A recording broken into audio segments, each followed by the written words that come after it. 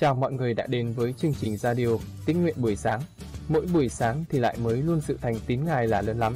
Lời Chúa là thức ăn thuộc linh cho chúng ta mỗi ngày để đắc thắng cám dỗ, tội lỗi xác thịt xung quanh chúng ta.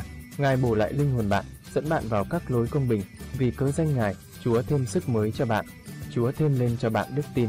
Mỗi ngày càng gần Chúa và giống Chúa hơn và có mối quan hệ mật thiết với Chúa mỗi ngày. Chúa yêu bạn rất nhiều Thi Thiên 57 Đức Chúa Trời ơi, xin thương xót tôi, xin thương xót tôi, vì linh hồn tôi nương náu nơi Chúa. Phải, tôi nương náu mình dưới bóng cánh của Chúa cho đến chừng tai họa đã qua. Tôi sẽ kêu cầu cùng Đức Chúa Trời chí cao, tức là Đức Chúa Trời làm thành mọi việc cho tôi. Lúc kẻ muốn ăn nuốt tôi làm sỉ nhục, thì Ngài sẽ từ trời sai ơn cứu tôi. Phải, Đức Chúa Trời sẽ sai đến sự nhân từ và sự chân thật của Ngài. Linh hồn tôi ở giữa các sư tử, tôi nằm giữa những kẻ thổi lửa ra. Tức là các con loài người có răng giống như giáo và tên, và lưỡi chúng nó khác nào gươm nhọn bén. Hỡi Đức Chúa Trời, nguyện Chúa được tôn cao hơn các tầng trời, nguyện sự vinh hiển Chúa trỗi cao hơn cả trái đất. Chúng nó đã gài lưới cho chân tôi, linh hồn tôi sờn ngã. Chúng nó đào hầm trước mặt tôi, xong lại bị sa xuống đó. Ở Đức Chúa Trời, lòng tôi vững chắc, lòng tôi vững chắc. Tôi sẽ hát, phải tôi sẽ hát ngợi khen. Hỡi sự vinh hiển ta, hãy tỉnh thức. Hỡi cầm sắc, hãy tỉnh thức. Chính mình tôi sẽ tỉnh thức thật sớm. Hỡi Chúa, tôi sẽ cảm tạ Chúa giữa các dân, hát ngợi khen Chúa trong các nước. Vì sự nhân từ Chúa lớn đến tận trời sự chân thật Chúa cao đến các tầng mây. Hỡi Đức Chúa Trời, nguyện Chúa được tôn cao hơn các tầng trời, nguyện sự vinh hiển Chúa trỗi cao hơn cả trái đất. Chương 18 Rồi đó, Phaolô đi khỏi thành Athens mà tới thành Corinto. Tại đó, người gặp một người Juda tên là Aquila, quê ở xứ Bông, mới từ nước Italy đến đây với vợ mình là Beresin bởi vì vua Cơ Lốt có chỉ truyền mọi người Juda phải lánh khỏi thành Roma. Phaolô bèn hiệp với hai người. Vì đồng nghề nên Phaolô ở nhà hai người mà làm việc chung nhau. Và nghề các người đó là may trại. Hãy đến ngày sa bát thì Phaolô giảng luận trong nhà hội khuyên dỗ người Juda và người Grec. Khi Sila và Timôthê từ xứ Macedon đến thì Phaolô hết lòng chuyên lo về sự giảng dạy, làm chứng với người Juda rằng Đức Chúa Giêsu là Đấng Christ. Nhưng vì chúng chống cự và khinh dễ người, nên người vũ áo mình mà nói rằng: Ước gì máu các ngươi đổ lại trên đầu các ngươi, còn ta thì tinh sạch. Từ đây ta sẽ đi đến cùng người ngoại. Phaolô ra khỏi đó, vào nhà một người tên là Titiu Yutu, là kẻ kính sợ Đức Chúa Trời. Nhà người giáp với nhà hội. Bây giờ Corinbu chủ nhà hội với cả nhà mình đều tin Chúa. Lại có nhiều người Corinto từng nghe Phaolô giảng cũng tin và chịu phép báp têm. Ban đêm, Chúa phán cùng Phaolô trong sự hiện thấy rằng: Đừng sợ chi, song hãy nói và chớ làm thinh. Ta ở cùng ngươi, chẳng ai tra tay trên ngươi đặng làm hại đâu, vì ta có nhiều người trong thành này. Phaolô ở lại đó một năm sáu tháng, dạy đạo Đức Chúa Trời trong đám họ. Lúc Galion đang làm quan trấn thủ xứ Achai, người Juda đồng lòng nổi lên nghịch cùng Phaolô và kéo người đến tòa án mà nói rằng người này xưa dân thờ Đức Chúa Trời một cách trái luật pháp. Phaolô vừa toan mở miệng trả lời thì Galion nói cùng dân Juda rằng: Hỏi người Juda, giá như về nổi trái phép hay tội lỗi gì thì theo lẽ phải ta nên nhịn nhục nghe các ngươi. Song nếu biện luận về đạo lý, danh hiệu hay là luật pháp riêng của các ngươi thì hãy tự xử lấy, ta chẳng khứng xử đoán những việc đó đâu. Người bèn đuổi chúng ra khỏi tòa án. Bây giờ chúng bắt sốt then chủ nhà hội đánh đòn trước tòa án, nhưng Galion chẳng lo đến việc đó. Paulo ở lại thành Corinto ít lâu nữa rồi từ giả anh em xuống thuyền đi với Berisin và Aquila qua xứ Syria sau khi đã chịu cạo đầu tại thành Senkere vì người có lời thề nguyện. Kế đó, ba người tới thành Epheso. Phaolô để đồng bạn mình lại đó, còn người thì vào nhà hội nói chuyện với những người Juda. song khi chúng xin ở lại lâu hơn nữa thì người chẳng khứng. Người từ giả các người đó mà rằng, ví Đức Chúa Trời khứng thì chuyến khác ta sẽ đến nơi các ngươi. Rồi người từ thành Epheso mà đi. Khi đổ bộ tại thành Caesarea rồi, người đi lên thành Jerusalem chào mừng hội thánh, đoạn lại xuống thành Antioch. Người ở đó ít lâu rồi lại đi trải lần lần khắp trong xứ Galati và xứ Phrygia làm cho hết thảy môn đồ đều vững lòng. Bây giờ có một người Juda tên là Apollo quê tại thành Alexandria là tay khéo nói và hiểu kinh thánh đến thành Epheso. Người đã học đạo Chúa nên lấy lòng rất sốt sắng mà giảng dạy và dạy kỹ càng những điều về Đức Chúa Giêsu, dẫu người chỉ biết phép báp-têm của dân mà thôi. Vậy, người khởi sự giảng cách dạng dĩ trong nhà hội. Berisin và Aquila nghe giảng, bèn đem người về với mình. Giải bài đạo Đức Chúa Trời cho càng kỹ lưỡng hơn nữa. Người toan sang xứ Ai Chai, thì anh em dục lòng cho và viết thơ gửi dặn môn đồ phải tiếp đãi người tử tế. Khi tới rồi, người được nhờ ơn Đức Chúa Trời mà bổ ích cho kẻ đã tin theo. Vì người hết sức bẻ bác người Juda giữa thiên hạ, lấy kinh thánh mà bày tỏ rằng Đức Chúa Giêsu là Đấng Christ. Chương 19 Đức Giê-hô-va lại phán cùng Mô-se và A-rôn rằng Này là lệ định của luật pháp mà Đức Giê-hô-va có truyền rằng Hãy nói cùng dân Israel và biểu dẫn đến người một con bò cái tơ sắc hoe, không tật không vít và chưa mang ách. Đoạn phải giao nó cho Eleasa thầy tế lễ dẫn ra ngoài trại quân, rồi người ta giết nó trước mặt người. Eleasa thầy tế lễ sẽ dùng ngón tay nhúng huyết nó rải bảy lần trên phía trước của hội mạc. Người ta sẽ thiêu con bò cái tơ đó trước mắt người, là thiêu da, thịt và huyết với phận nó. Kế đó, thầy tế lễ sẽ lấy cây hương nam, chùm kinh giới và màu đỏ sậm, liện vào giữa đám lửa thiêu con bò cái tơ. Đoạn, thầy tế lễ phải giặt áo sống và tắm mình trong nước, sau rồi vào trại quân, bị ô uế đến chiều tối. Kẻ nào thiêu con bò cái tơ phải giặt áo sống và tắm mình trong nước, bị ô uế đến chiều tối. Một người tinh sạch sẽ hốt cho con bò cái tơ đổ ngoài trại quân trong một nơi tinh sạch người ta phải giữ trò đó cho hội dân Israel để dùng làm nước tẩy uế. Ấy là một của lễ chuộc tội. Kẻ nào hút cho con bò cái tơ phải giặt áo sống mình và bị ô uế đến chiều tối. Điều này sẽ là một lễ định đời đời cho dân Israel và cho khách ngoại bang kiều ngụ giữa dân đó. Ai đụng đến một xác chết của người nào sẽ bị ô uế trong bảy ngày. Ngày thứ ba và ngày thứ bảy, người ấy phải dùng nước này làm cho mình được sạch thì sẽ được sạch. Còn nếu ngày thứ ba và ngày thứ bảy không làm cho mình được sạch, thì người vẫn không tin sạch. Phạm người nào đụng đến xác chết của người nào và không làm cho mình được sạch, thì sẽ gây cho đền tạm của Đức Giê-hô-va bị ô uế. Người đó sẽ bị trút khỏi Israel vì nước tẩy uế không có rải trên mình người, nên người vẫn ô uế. Sự ô uế của người vẫn ở trên mình người vậy. Này là luật pháp khi có một người nào chết trong trại. Bất kỳ ai vào trại và mọi vật chi ở trong đều sẽ bị ô uế trong bảy ngày. Phàm bình đựng nào để trống không có nắp đậy buộc theo sẽ bị ô uế. Ngoài đồng, ai đụng đến hoặc một người bị gươm giết, hoặc một xác chết, hoặc hài cốt loài người hay là một cái mã thì sẽ bị ô uế trong bảy ngày.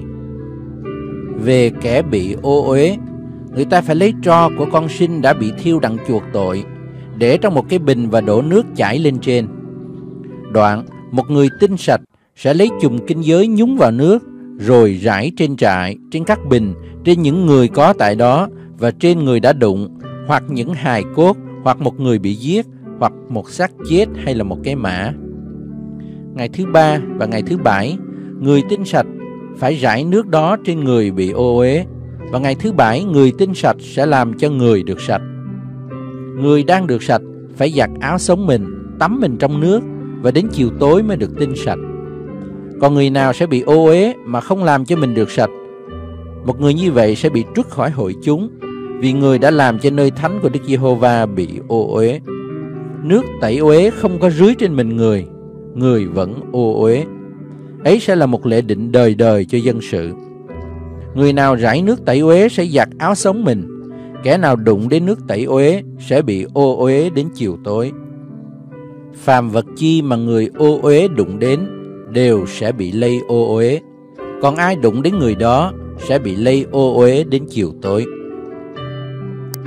Chương 20 Tháng Giêng, cả hội dân Israel tới đồng vắng Sin và dừng lại tại Kade. Miriam qua đời và được chôn tại đó. Và không có nước cho hội chúng uống. Chúng bèn giấy loạn cùng Môi-se và Aaron. Dân sự cãi lộn cùng Môi-se mà rằng anh em chúng tôi đã chết trước mặt Đức Giê-hô-va, chớ chi chúng tôi cũng đồng chết luôn thể. Sao người đem hội chúng của Đức Giê-hô-va vào đồng vắng này làm cho chúng tôi và súc vật của chúng tôi phải chết? Sao người khiến chúng tôi đi lên khỏi xứ Ai-cập đặng dẫn đến chỗ độc này là nơi người ta không gieo mạ được và chẳng có cây vả, cây nho, cây lựu và cũng không có nước uống. Môi-se và A-rôn bèn lui khỏi mặt hội chúng đến tại cửa hội mạc, sấp mặt xuống đất và sự vinh quang của Đức Giê-hô-va hiện ra cùng hai người. Đức Giê-hô-va phán cùng Môi-se rằng: Hãy cầm lấy cây gậy ngươi, rồi với A-rôn anh ngươi hãy truyền nhóm hội chúng và hai ngươi phải nói cùng hòn đá trước mặt hội chúng thì hòn đá sẽ chảy nước ra.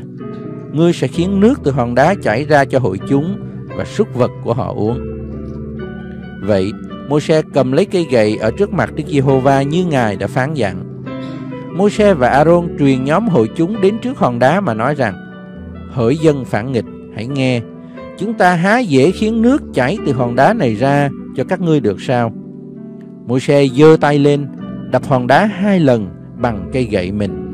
Nước bèn chảy tràn ra nhiều, hội chúng uống và súc vật họ uống nữa. Đoạn Đức Giê-hô-va phán cùng Môi-se và A-rôn rằng: Bởi vì hai ngươi không có tin đến ta, đặng tôn ta nên thánh trước mặt dân Israel. Vì cớ đó, hai ngươi sẽ không đem hội chúng này vào xứ mà ta đã cho nó đâu. Ấy đó là nước của Meriba, tức là nơi dân Israel cải trả cùng Đức Giê-hô-va. Ngài tự nên thánh trước mặt dân đó. Đoạn từ Ca-đe, Môi-se sai sứ giả đi đến vua Edom, đặng nói rằng, Israel là em vua có nói như vậy. Vua biết các sự tai nạn đã xảy đến cho chúng tôi và tổ phụ chúng tôi đi xuống xứ Egypto là làm sao. Chúng tôi đã ở lâu tại xứ Egypto, nhưng dân xứ đó bạc đãi chúng tôi và tổ phụ chúng tôi. Chúng tôi có kêu la cùng Đức Giê-hô-va. Ngài có nghe thấu tiếng kêu, bèn sai một thiên sứ dẫn chúng tôi ra khỏi xứ Egypto. Này, chúng tôi hiện ở tại Kade là thành ở nơi đầu bờ cõi của vua. Xin cho phép chúng tôi đi ngang qua xứ của vua. Chúng tôi sẽ chẳng đi ngang qua đồng ruộng, sẽ chẳng đi ngang vườn nho, và chúng tôi cũng sẽ chẳng uống nước các giếng. Chúng tôi sẽ đi theo đường cái của vua, không xây qua bên hữu, cũng không xây qua bên tả, cho đến chừng nào đã đi ngang khỏi bờ cõi của vua. Nhưng Edom đáp rằng, Ngươi chớ khá đi ngang ranh ta, bằng cưỡng ta sẽ cầm gươm ra đón ngươi. Dân Israel tâu rằng, chúng tôi đi theo đường cái, nếu chúng tôi và bầy súc vật chúng tôi uống nước của vua thì chúng tôi sẽ trả tiền. Xin chỉ để đi bộ ngang qua, không chi khác nữa. Nhưng Edom đáp rằng, ngươi chẳng được qua đâu. Edom bèn đem quân chúng rất đông, tay cầm binh khí ra đón Israel. Ấy vậy, Edom không cho phép Israel đi ngang bờ cõi mình. Israel trở đi khỏi người. Cả hội dân Israel đi từ Kade đến núi Horơ. Đức Giê-hô-va phán cùng Môi-se và A-rôn trên núi Horơ tại bờ cõi xứ Edom mà rằng: A-rôn sẽ về nơi tổ phụ mình, vì người không được vào xứ mà ta đã ban cho dân Israel đâu, bởi vì tại nước Meriba các ngươi đã bội nghịch điều răn ta. Hãy bắt aaron và Eleasa con trai người biểu đi lên núi Horơ. Đoạn hãy lột áo sống aaron mặc cho Eleasa con trai người. Ấy tại đó Aaron sẽ được tiếp về và qua đời. Vậy, Môi-se làm y như Đức Giê-hô-va đã phán dặn. Ba người đi lên núi horơ cả hội chúng đều thấy. Môi-se lột áo sống Aaron mặc cho Eleasa con trai người. Aaron chết tại đó trên chót núi, rồi Môi-se và Eleasa đi xuống. Cả hội chúng thấy Aaron đã tắt hơi rồi, bèn khóc người trong 30 ngày. Chương 21 Khi vua Arak người Canaan ở nơi Nam Phương hay rằng Israel theo đường do thám đi đến, bèn hãm đánh Israel và bắt mấy người cầm tù. Israel bèn hứa nguyện cùng Đức Giê-hô-va rằng, nếu Chúa phó dân này vào tay tôi, tất tôi sẽ diệt các thành của nó. Đức Giê-hô-va nhậm lời dân Israel và phó dân Canaan cho. Người ta diệt hết dân đó và các thành của nó, đặt tên chỗ này là Họt Ma. Đoạn, dân Israel đi từ núi Hô-rơ về hướng biển đỏ, đặng đi vòng theo xứ Edom. Giữa đường, dân sự ngã lòng. Vậy, dân sự nói nghịch cùng Đức Chúa Trời và Môi-se mà rằng, làm sao người khiến chúng tôi lên khỏi xứ Ai-cập đặng chết trong đồng vắng? Vì đây không có bánh, cũng không có nước, và linh hồn chúng tôi đã ghê gớm thứ đồ ăn đạm bạc này. Đức Giê-hô-va sai con rắn lửa đến trong dân sự, cắn dân đó đến đổi người Israel chết rất nhiều. Dân sự bèn đến cùng Môi-se mà nói rằng, chúng tôi có phạm tội vì đã nói nghịch Đức Giê-hô-va và người. Hãy cầu xin Đức Giê-hô-va để Ngài khiến rắn lìa xa chúng tôi. Môi-se cầu khẩn cho dân sự.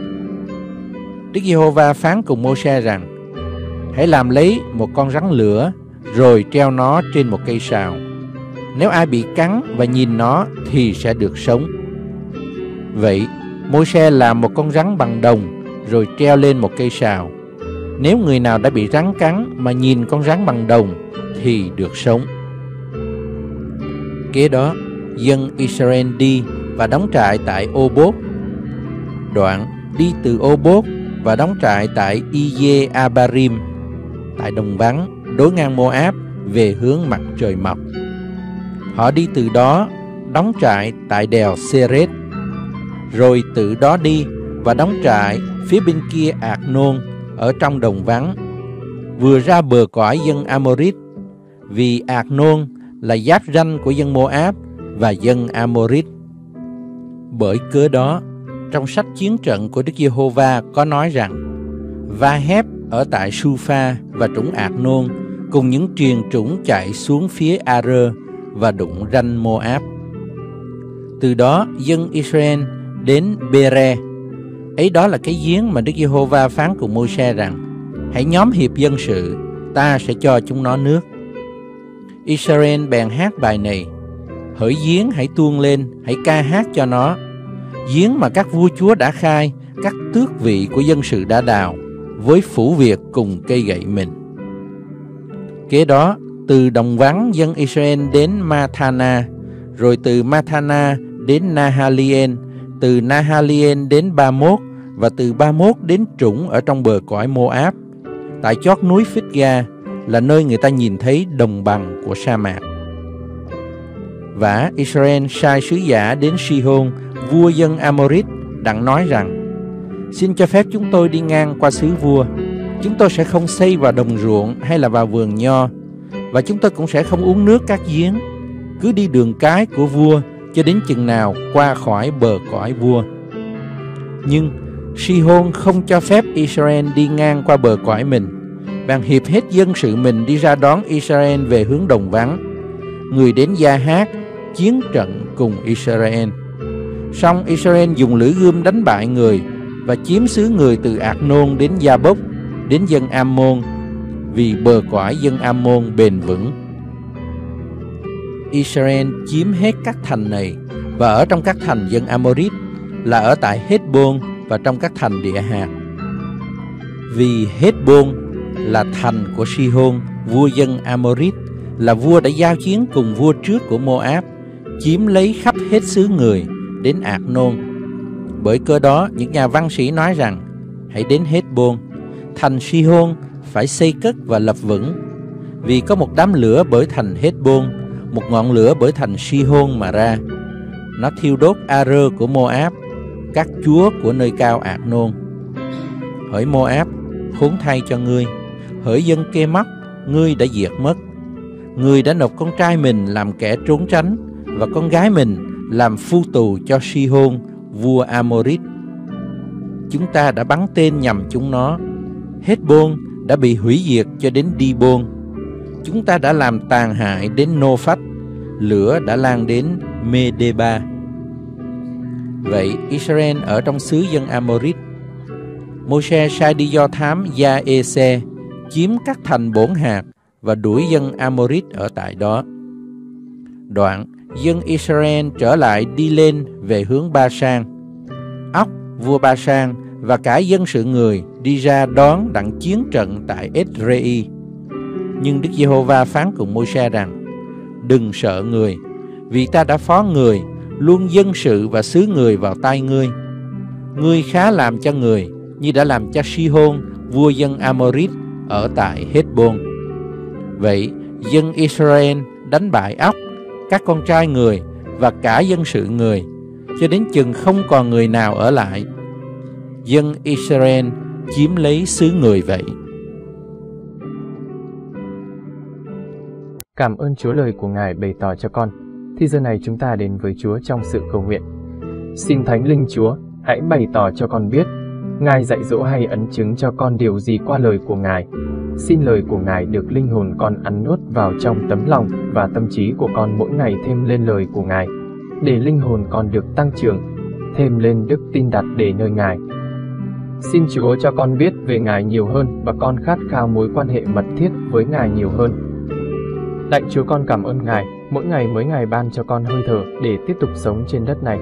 Con nguyện huyết báo của Chúa Giêsu Christ thanh tẩy, tẩy sạch, bôi xóa những suy nghĩ, tư tưởng, hành động trong tâm trí, trong tấm lòng của con như ấy là gian dâm, ô uế, lung tuồng, thờ hình tượng, phù phép, thù oán, tranh đấu, ghen ghét, buồn, giận, cãi lẫy, bất bình, bè đảng, ganh gổ, say xưa, mê ăn uống, cùng các sự khác giống như vậy. Con nguyện xin dòng huyết báo của Ngài tẩy sạch bôi xóa sự xác thịt của con không đẹp lòng Ngài ra khỏi con ngay giờ này. Bây giờ con được thánh sạch đứng trước mặt Ngài.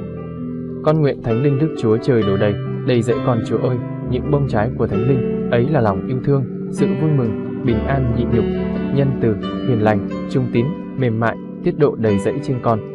Con xin Chúa thêm sức mới, thêm đức tin cho con. Xin Chúa dẫn dắt con để con đắc thắng một ngày mới trong ngày. Con cảm ơn Chúa, con dâng mọi vinh hiển tôn quý lên ba ngôi Đức Chúa Trời toàn năng và phước hạnh con nhận lãnh từ nơi Ngài. Và con thành kính dâng lên cha lời cầu nguyện trong danh Chúa Giêsu quýt Amen. Cảm ơn bạn đã nghe chương trình Tĩnh Nguyện Radio buổi sáng. Bạn ủng hộ chương trình bằng cách like, chia sẻ chương trình tĩnh nguyện rộng rãi trên mạng Internet cộng đồng. Cảm ơn bạn. Hẹn bạn tĩnh nguyện tiếp theo. Chúa yêu bạn rất nhiều.